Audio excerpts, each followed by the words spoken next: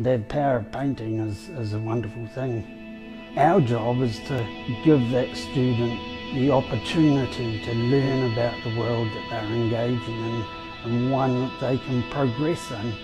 What gives me the greatest pleasure is to see them carry on painting. I'd wish, you know, that, that you'll do it your whole life.